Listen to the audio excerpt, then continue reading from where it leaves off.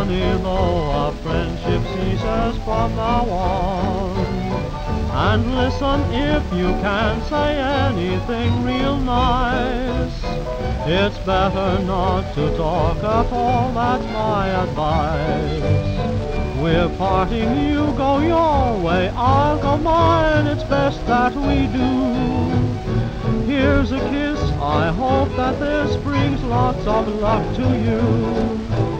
Makes no difference how I carry on. Remember, please don't talk about me when I'm gone.